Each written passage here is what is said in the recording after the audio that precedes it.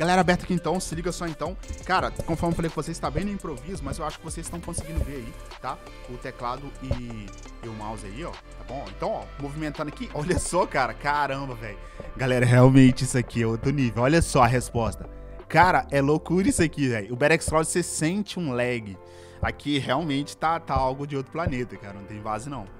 Ó, sensacional. Olha só, cara. Muito top, cara. Cara, eu falei com vocês, galera, que o nativo ia ser outra coisa. Apesar que, o Berex Cloud, aquela outra extensão, fazia um trabalho muito bom também, dadas as circunstâncias.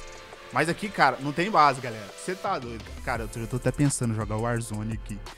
Tá louco, cara. Olha só, galera. Muito louco isso aqui, velho. Até que enfim, galera, realmente chegou. Tá funcionando. Tô no app do Windows. É nativo, é oficial. Tá, ó, R ali pra carregar. Repare então que tudo é pensado no teclado e no mouse, tá bom? Então isso aqui é que é o sensacional. É a vantagem de você ter algo nativo, tá bom? é tudo, o jogo inteiro, ele tá funcionando pensando nisso. Vocês viram alguns pixelados ali? É normal do app do Windows. Mas agora eu tenho certeza que a galera vai entrar em massa, tá? Por enquanto, infelizmente, é só no app do Windows, tá? Agora, no momento que eu tô gravando esse vídeo, é só no app do Windows. Vamos ver se vai liberar no navegador.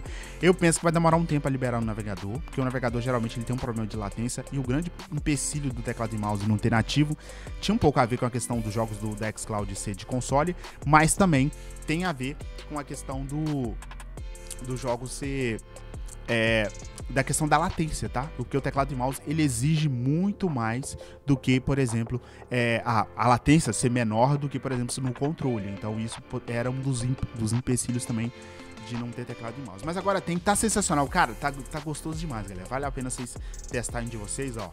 Mirou, atirou.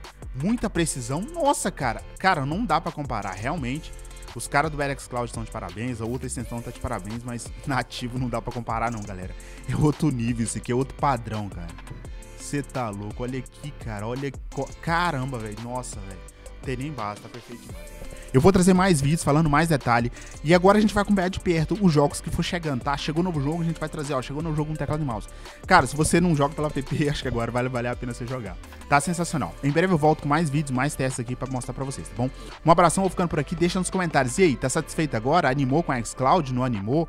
Qual que é a sua expectativa agora com a xCloud depois disso? Será que agora a xCloud vai? Será que agora ela sai desse beta?